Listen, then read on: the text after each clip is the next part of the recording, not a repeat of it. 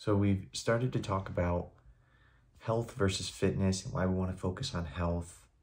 Um, instead of really trying to break the body down, tear the body down and and heal and then come back stronger, we want to slowly, subtly give the body a stimulus that's going to train it to adapt in a stronger way.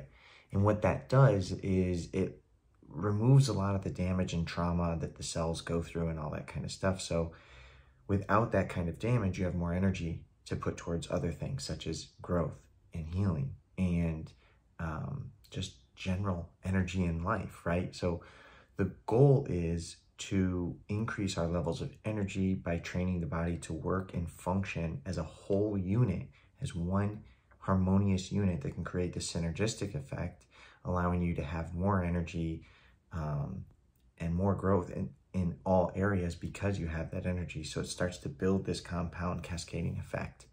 So that's the goal of training for health. Now, how we do this is I mentioned the word whole, and we want to create the body as one whole unit because that's going to make the body function at its highest level. Within that harmonious system of the body, anytime you create interference, the body starts functioning at a lower level. It starts to cause that negative um, destruction in the body. Um, so if you can clear out interference, get the body to work as a whole unit, then you can optimize the function of the body.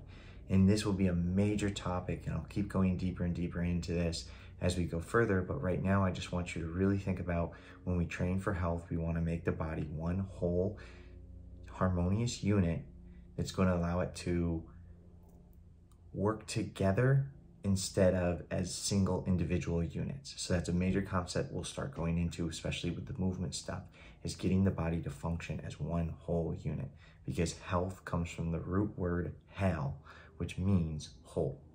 So to be healthy, we need to be whole in all these aspects.